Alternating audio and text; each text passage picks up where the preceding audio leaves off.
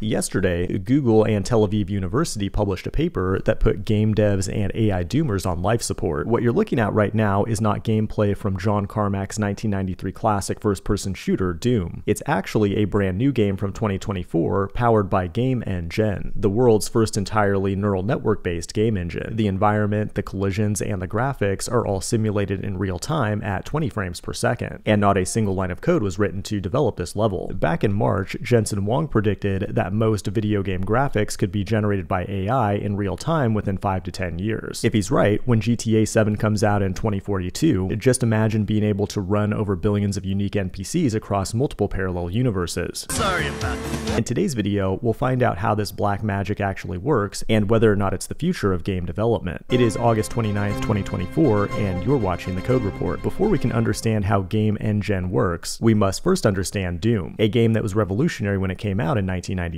Not only was it a violent game that moms hated, but it was a huge technical achievement in 3D gameplay. While the player runs around obliterating demons from a 3D perspective, the enemies and objects are actually just 2D sprites rendered at fixed angles. This differs from modern games that use billions of triangles and linear algebra to render 3D objects. The key takeaway here though is that Doom is not a true 3D game, and its underlying technique is often called 2.5D graphics or billboarding. In other words, you take a bunch of 2D images, but skew and scale them in ways that make it look like like a 3D environment. It's genius, so let's take a moment of respect for its lead developer and legendary programmer John Carmack. Not only did he create Doom and Wolfenstein and Quake, but he open sourced the Doom engine in 1997, which inspired an entire generation of new programmers. Uh, currently, he's working on artificial general intelligence at Keen Technologies, and let's hope he gets there before Sam Altman does. But now that you understand how Doom is just a bunch of 2D sprites, GameNGen becomes a little less magical, which is based on Stable Diffusion. It relies on an augmented version of Stable Diffusion 1.4, which is trained to predict the next frame based on the sequence of past frames and actions. And the other big component of the architecture is a reinforcement learning agent, which is trained to play the game and record itself like an artificial Twitch streamer. Google has taken a lot of L's recently, but it's also been shipping some amazing tech, especially when it combines reinforcement learning with generative AI. Like AlphaCoder uses a similar technique to beat virtually all competitive programmers, and AlphaProof can beat almost all math Olympiads. But when it comes to the game engine, their biggest challenge was addressing addressing autoregressive drift, where the quality of gameplay starts to decrease over longer sequences. The model only has a limited context window of about 3 seconds or 60 frames, but in a fast-paced game like Doom, that's all you need for real-time gameplay. And despite the small context, it does keep track of health and ammo based on the actions taken by the player. The big question though is does this make game developers obsolete? The answer of course is no, this game is barely playable, and the tech has no practical application for the time being, but in the not so distant future, you could imagine a developer like Rockstar Games using an RL agent to play the GTA world, combined with some futuristic generative 3D model, they can spit out new terrain, NPCs, and even storylines on the fly. But you really shouldn't be playing video games because women find it the most unattractive hobby for men. Real world changing application of technology like this is going to come in robotics. Real time environment simulation will allow robots to train rapidly without physical hardware. Like when it comes to capital punishment, it's extremely hard to gather enough data for a large model. Well, not anymore thanks to Google's Project Talon. The new device is designed to be as humane as possible,